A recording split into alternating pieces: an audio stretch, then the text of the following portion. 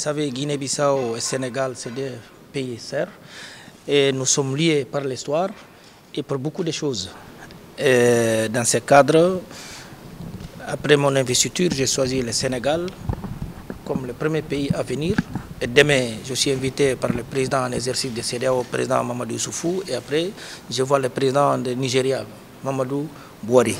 Entre-temps, ça c'est pour réformer et réaffirmer à mon cher grand frère, président Macky Sall, de la volonté de ce gouvernement en place de Guinée-Bissau, d'une manière de coopération et de renforcement de nos relations que euh, lient entre ces deux peuples. Et Guinée-Bissau, là, je viens de former un nouveau gouvernement qui issu d'une majorité, tenant en considération la signature d'un pacte de stabilité parlementaire entre PRS, Madame G15 et APU, y compris des autres décidants du PAGC.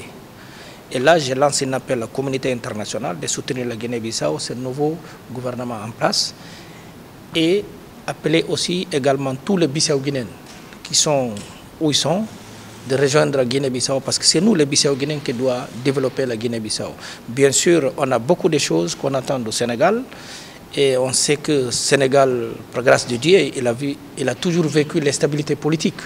Et nous, on a passé 20 ans dans l'instabilité politique. Et je pense euh, avec la nouvelle administration de Guinée-Bissau, on a beaucoup de choses à prendre avec nos frères sénégalais. Comme vous le savez, nous, on avait connu beaucoup de guerres, de coups d'État. Et les pays, normalement, qui souffrent avec ça, c'est le Sénégal. Chaque fois qu'il y a une instabilité en Guinée-Bissau, c'est le Sénégal qui souffre avec ça. Et là, on ne peut pas mettre le Sénégal en deuxième plan. Le Sénégal, il a obligation de veiller pour la Guinée-Bissau et aider Guinée-Bissau et être le porte-parole de Guinée-Bissau avec les communautés internationales.